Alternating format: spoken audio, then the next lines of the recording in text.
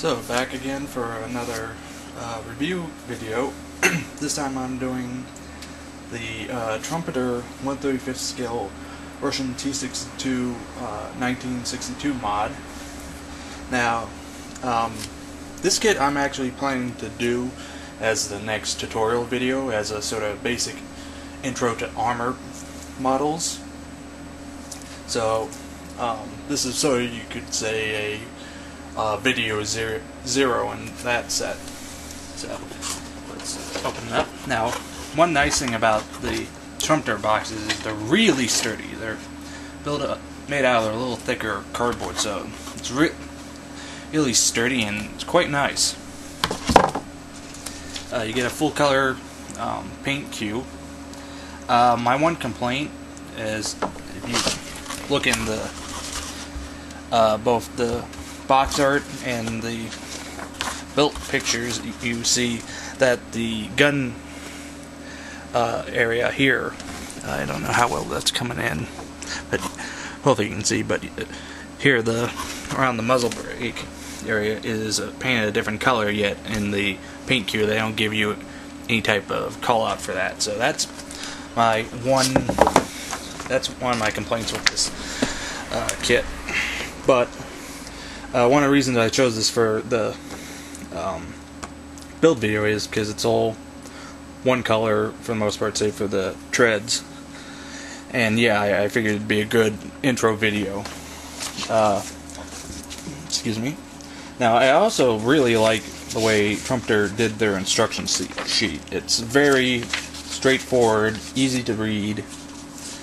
Uh, gives you all the options that you can do and obviously you're gonna have to check references see which option parts you need and so forth to build the particular one you're doing. But the fact that they show you where those options are is quite nice. And yeah. So uh, as you can see several different sprues uh, top of the tank and the turret base. Uh, one of the options for the um, muzzle brake and such. Uh, some the tops of the uh, armor sides above the treads, the uh, various um, hatches and such, and all the plastic is very nicely cast, very clean, no flash, or flash, sorry, uh, that I can see whatsoever. And yeah, uh, it's a very nice casting and great uh, here we got the road wheels and what it feels like a little different type of plastic than the rest of it. I'll just pull one. It just it feels a little different and feels lighter than the other plastic. I'm not sure if they cast in something else, but yeah, it feels like um, made of, as I said, a hard, a hard plastic. I've seen some cases that these are done in uh, more of a rubbery plastic.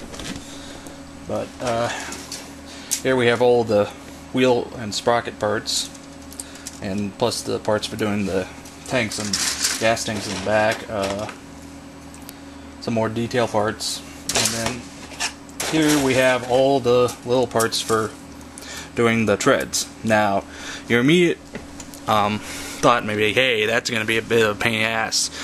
But let me tell you, um, I've only built one kit with vinyl tracks, a, came in a big, long, rubbery type thing, and I hated them. I do not like them. So, from a personal standpoint, those are better. You can do get more realistic with them. And yeah, I mean, the only step up from there would be obviously getting aftermarket metal tracks, which probably cost, which do cost as much as the kit itself. Now, here's one nice thing I like about this is hopefully this will show up in the on camera. I don't know how well it will, but here on the turret itself, I, there's subtle little casting details that they did to give it more of like a cast iron almost effect, and hopefully this will if I can get this to focus. Yeah, but no, I mean, it's really nice. It's subtle, but it really, I think, once painted and all that, will give it a very realistic look right out of the box, which uh, I gotta say is quite nice. So props to Trumpeter for that. Uh, now, and he, here's the um, turret base, which is pretty standard for 135th scale armor. But one nice thing about this kit is it comes with a metal barrel out of the box. Uh, that that I was really impressed by. And no, excuse me. Yeah. My one complaint though, it doesn't go very deep, but it still gives you the effect. Again, metal barrels are by far the best you can use on armor kits, or at least tanks. Well, it, metal barrels for anything is best because they look the best. Alright, uh, moving on now. Uh, we got some clear parts. Uh, the decal sheet, though for some reason, I don't know why, they chose to, they tape this cover sheet on instead of just leaving it free. Don't ask me why. Uh, a little national symbol there. That was quite nice. Uh, also like the fact that they included just bare numbers so you could theoretically make your own particular tank number and build your own.